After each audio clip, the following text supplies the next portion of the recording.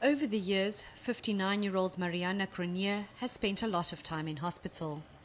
At age 16, she underwent her first open heart surgery. Seven years later, her mitral valve was replaced with a synthetic one.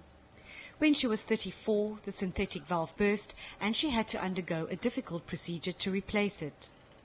Recently, her aorta valve hasn't been fully functional. Cardiologists were also worried about a tear in her heart chamber.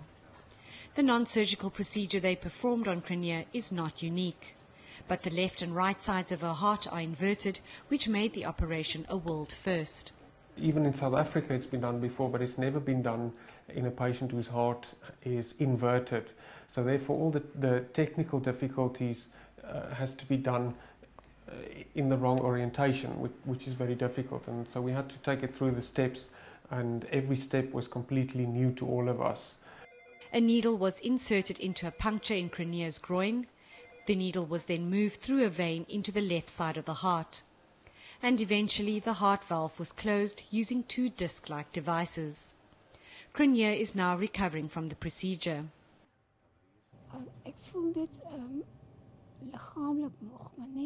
physically tired, but my heart feels much better. My condition deteriorated for a long time.